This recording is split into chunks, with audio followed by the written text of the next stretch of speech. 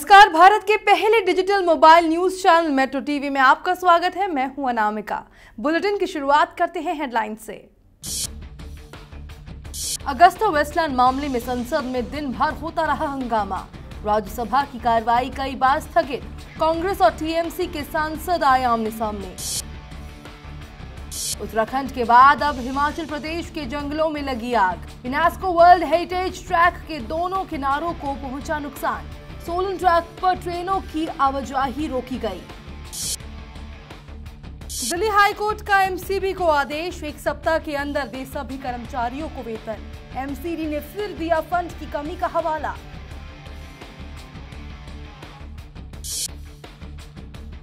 बिहार में जनता दरबार में नीतीश पर भड़का युवक। फेंका कागज़ का पुलिंदा। सुबह नौ बजे से शाम छह बजे तक चूल्हा नहीं जलाने की हिदायत से था नाराज़। और यूपी में सीएम पद के लिए रणनीतिकार प्रशांत किशोर की पहली पसंद राहुल और प्रियंका। कांग्रेस नेता बोले सीएम नहीं पीएम बनेंगे राहुल। 2017 में उत्तर प्रदेश के विधानसभा चुनाव को लेकर कांग्रेस ने अपनी तैयारियाँ तेज कर दी है। प्रदेश में अपनी स्थिति मज़बूत करने के लिए कांग्रेस ने प्रशांत किशोर को रणनीतिकार बनाया है। इसी सब के बीच ये बात भी सामने आ रही है कि कांग्रेस उत्तर प्रदेश के चुनाव में पार्टी उपाध्यक्ष राहुल गांधी या प्रियंका को मुख्यमंत्री का चेहरा बना सकती है। हालाँकि इन खबरों पर राहुल गांधी का कहना है कि आप लोग खबर चलाते हैं तो आप लोग जानो, मुझे इसकी जानकारी नहीं है। वही रणनीति प्रशांत किशोर मानना है कि अगर राहुल या प्रियंका को कांग्रेस का चेहरा बनाया जाए तो उससे पार्टी की हालत और किस्मत दोनों चमक सकती है। हालाँकि कांग्रेस के नेता राहुल को पीएम पद का उम्मीदवार मानते हैं। शांति की अपेक्षा करना और शांति के लिए कदम उठाना दोनों अलग अलग बातें हैं। फेसबुक पर एक चार मिनट के वीडियो में ये बात भारत पाकिस्तान की सरकारों को समझाने की कोशिश की है। उन्नीस साल की गुरमेहर अकौर के पिता कारगिल की लड़ाई में शहीद हुए थे और उन्होंने इस वीडियो में कुछ पोस्टर, नुमा संदेशों के ज़रिए भारत पाकिस्तान के बीच शांति बनाए रखने का संदेश दिया है। गुरमेहर का ये संदेश अंग्रेज़ी में है और इसमें उन्होंने 30 पोस्टरों के ज़रिए अपनी बात सामने रखी है। उन्नीस मुंबई बम धमाकों में आर्म्स एक्ट के अंतर्गत दोषी पाए जाने के बाद सजा काट कर लौटे अभिनेता संजय दत्त नई पारी शुरू कर सकते हैं। मुंबई में महाराष्ट्र दिवस के मौके पर आयोजित कार्यक्रम के दौरान उन्होंने कहा कि बीजेपी की सीटें बढ़नी चाहिए। इतना ही नहीं, वो मंच पर भगवा रंग का साफा बांधकर हाथ में तलवार लेकर खड़े भी थे। गौरतलब है कि संजय की बहन प्रिया दत्त कांग्रेस से दो बार सांसद रह चुकी है। इससे पहले संजय ने 2009 में समाजवादी पार्टी के महासचिव बने थे और लोकसभा चुनाव के दौरान जमकर प्रचार भी किया था। जब 2010 में अमर सिंह पार्टी से निष्कासित किए गए तो उन्होंने ये कहकर पार्टी छोड़ दी थी कि बड़े भाई को पार्टी से निकालने के बाद वहाँ रहना सही नहीं है। विश्व प्रसिद्ध बांसुरी वादक हरिप्रसाद चौरसिया एक कार्यक्रम में शिरकत करने के लिए भुवनेश्वर पहुँचे थे। यहाँ पर उन्होंने मेट्रो ग्रुप के संस्थापक पीयूष मोहंती से सौजन्य मुलाकात की। इस मौके पर दोनों ने ही अपने अनुभव एक दूसरे से साझा किए। पीयूष मोहंती ने इन लम्हों को और यादगार बनाने के लिए हरिप्रसाद चौरसिया जी को भेंट स्वरूप भगवान जगन्नाथ की मूर्ति समर्पित की। पीयूष मोहंती इस दौरान काफ़ी भावुक नज़र आए। उन्होंने इस मुलाकात को अविस्मरणीय बताया। आरएसएस के वरिष्ठ नेता और जनसंघ के संस्थापक रहे बलराज मधोक का निधन हो गया है। बलराज मधोक छियानवे वर्ष के थे। उन्होंने एम्स में आखिरी सांस ली। बलराज के पार्थिव शरीर को अंतिम दर्शन के लिए राजेंद्र नगर के जे तीन सौ चौरानवे आवास में रखा गया है। उनके निधन पर पीएम नरेंद्र मोदी समेत कई नेताओं ने दुख जताया है। पीएम मोदी ने उनके घर जाकर परिवार के सदस्यों से मुलाकात की। केंद्रीय गृह मंत्री राजनाथ सिंह ने मधोक को सिद्धांतवादी नेता बताया। उन्होंने कहा कि मधोक ने कभी भी अपनी राष्ट्रवादी विचारधारा से कभी समझौता नहीं किया। राजनाथ ने शोक व्यक्त करते हुए कहा कि उनके निधन से गहरी क्षति हुई है। बलराज मधोक जनसंघ के संस्थापक भी रहे। मधोक दक्षिणी दिल्ली से लोकसभा सांसद भी रह चुके हैं।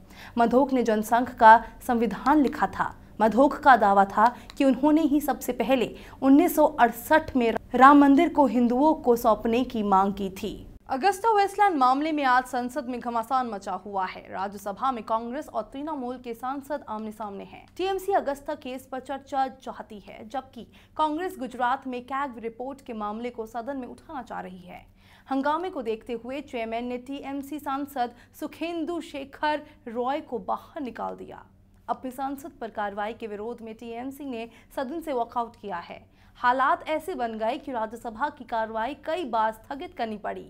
दूसरी तरफ़, इटली में ऋण केस में पीएम मोदी और इतालवी प्रधानमंत्री के बीच बातचीत का मुद्दा उठाने को लेकर बीजेपी सांसद भूपेंद्र यादव ने कांग्रेस सांसद गुलाम नबी आज़ाद के खिलाफ विशेष अधिकार हनन का प्रस्ताव दिया है। चीन में शिनजियांग प्रांत के उइगर समुदाय के असंतुष्ट नेता डोलकुन ईसा और दो अन्य असंतुष्ट नेताओं को पहले वीज़ा देने और बाद में रद्द कर देने से भले ही मोदी सरकार की विदेश नीति आलोचना का शिकार हो रही है, लेकिन इस कूटनीतिक दाव से चीन को एहसास हो गया है कि मसूद अजहर के मामले में उसके पाकिस्तान के हाथ में खेलने पर भारत भी उसकी कमज़ोर नस दबा सकता है। कूटनीतिक सूत्रों के अनुसार भारत के इस छोटे से कूटनीतिक दाव में चीन को ठंडा कर दिया और अब वो भारत के रुख को समझने को तैयार दिख रहा है। बिहार के मुख्यमंत्री नीतीश कुमार के जनता दरबार में आज उस वक्त हंगामा शुरू हो गया जब एक युवक ने उन पर कागज़ फेंक दिया। बताया जा रहा है कि युवक नीतीश सरकार के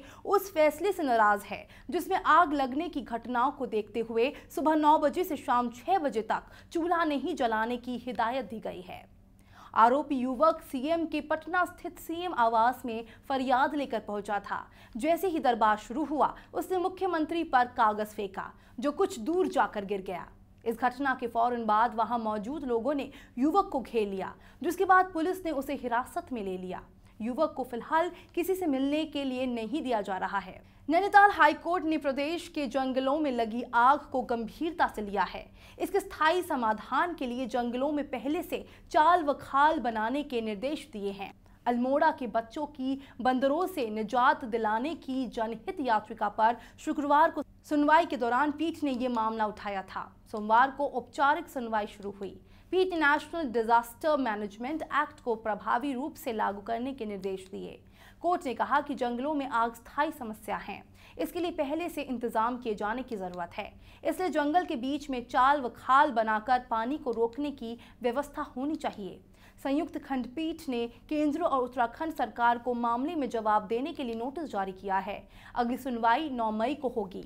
उत्तर कोरिया के तानाशाह किम जोंग उन एक बार फिर बेतुके फरमान को लेकर सुर्खियों में है। ब्रिटेन की रिपोर्ट में दावा किया गया है कि किम जोंग उन ने देश में होने वाली सभी शादियों और अंतिम संस्कार रोकने का फरमान सुनाया है। खबर है कि तानाशाह ने ये तुगल की फरमान इसलिए सुनाया है क्योंकि इस हफ़्ते उनकी ताजपोशी होने जा रही है।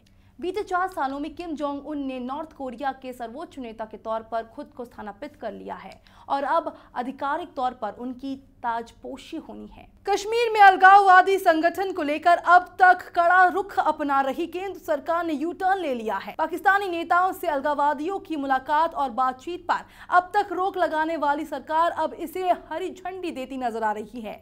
बीते सप्ताह संसद में दिए गए एक लिखित जवाब में विदेश राज्य मंत्री वीके सिंह ने कहा, जम्मू कश्मीर भारत का एक अभिन्न अंग है और कश्मीर के अलगाववादी नेता भी भारतीय नागरिक है। इसके चलते वो किसी भी देश के रिप्रेजेंटेटिव से मुलाकात और बात कर सकते हैं। पीएम नरेंद्र मोदी की शैक्षणिक योग्यता को लेकर चल रहे विवादों के बीच कांग्रेस ने उनकी जन्म तिथि में विसंगति होने का आरोप लगाया है। पार्टी ने गुजरात विश्वविद्यालय द्वारा मोदी की स्नातकोत्तर डिग्री की जानकारी साझा करने के समय पर भी सवाल उठाया।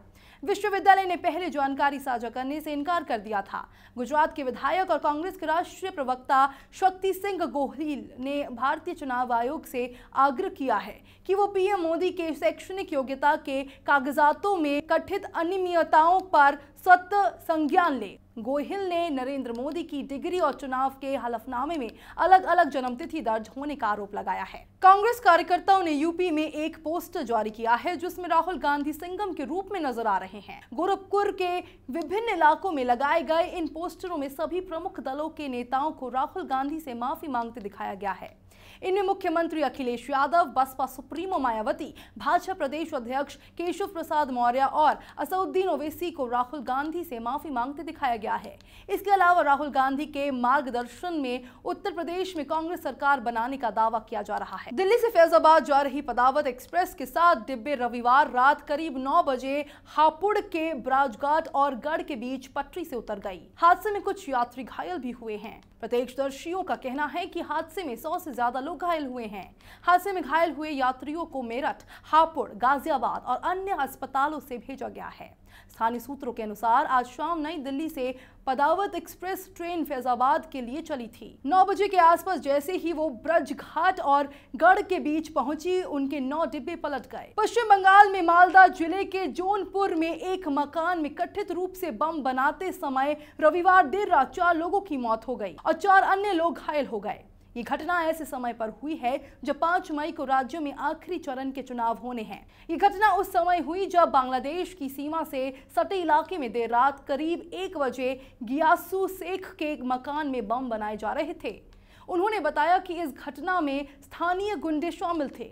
मुख्य आरोपी गियासू फ़िलहाल फरार है। ज़िले में 17 अप्रैल को चुनाव हुआ था। घायलों को मालदा चिकित्सकीय कॉलेज एवं अस्पताल में भर्ती कराया गया है। रविवार को अपने निर्वाचन क्षेत्र वाराणसी में ई बोट और ई रिक्शा के विमोचन के बाद पीएम नरेंद्र मोदी ने दोनों ही वाहनों की सवारी भी ली। असी घाट पर बोट की सवारी के बाद पीएम ने कहा, वो योजनाएँ ज़रूरी है जो जनता को मज़बूत बनाती है, न की वो जो वोट बैंक को मज़बूत करती है।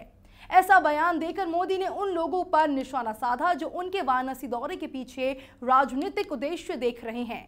वाराणसी आने से पहले प्रधानमंत्री ने बलिया में पाँच करोड़ गरीब महिलाओं को मुफ़्त एलपीजी कनेक्शन देने की योजना का शुभारंभ भी किया। हरियाणा के मुख्यमंत्री मनोहर लाल खट्टर ने ऐलान किया कि राज्य के पुलिसकर्मियों को अब तक साप्ताहिक अवकाश मिलेगा। खट्टर ने कहा कि पुलिसकर्मी सभी दिन और 24 घंटे काम करते हैं जिससे तनाव आता है। इसे देखते हुए उन्हें एक साप्ताहिक अवकाश देने का फैसला किया गया है। उन्होंने कहा कि बल को मज़बूत किया जाएगा और इस साल 7,200 अतिरिक्त कर्मियों की भर्ती की जाएगी।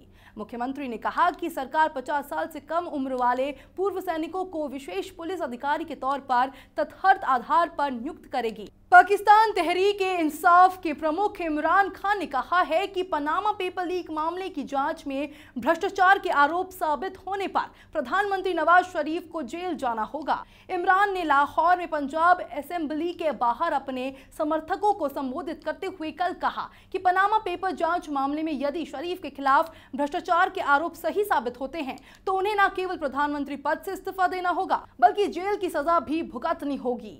नवाज़ का नाम पनामा लीक मामले में आया था, जिनमें उन पर भ्रष्टाचार के आरोप लगे थे। हालाँकि प्रधानमंत्री ने इन आरोपों को खारिज किया है। खबरों के सफ़र में फ़िलहाल इतना ही। देश और दुनिया की ताज़ा तरीन खबरों के लिए जुड़े रहिए मेट्रो टीवी के साथ। नमस्कार।